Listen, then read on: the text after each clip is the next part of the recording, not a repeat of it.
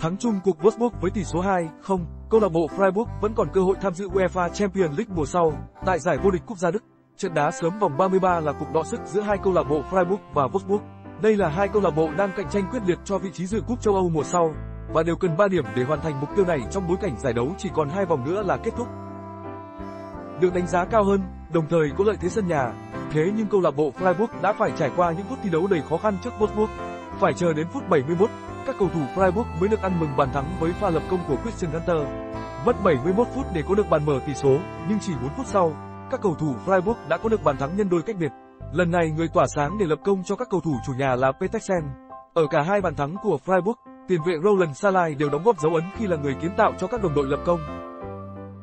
Trong những phút còn lại, đội chủ nhà Freiburg còn có thêm một lần đưa được bóng vào lưới của đối phương, nhưng bàn thắng này đã không được công nhận sau khi VAR xác định Petersen đã phạm lỗi trước khi ghi bàn. Thắng chung cuộc Wolfsburg với tỷ số 2-0, câu lạc bộ Freiburg vẫn còn cơ hội tham dự UEFA Champions League mùa sau khi đang có cùng 59 điểm với đội bóng đứng thứ tư là Union Berlin nhưng đã đá nhiều hơn một trận.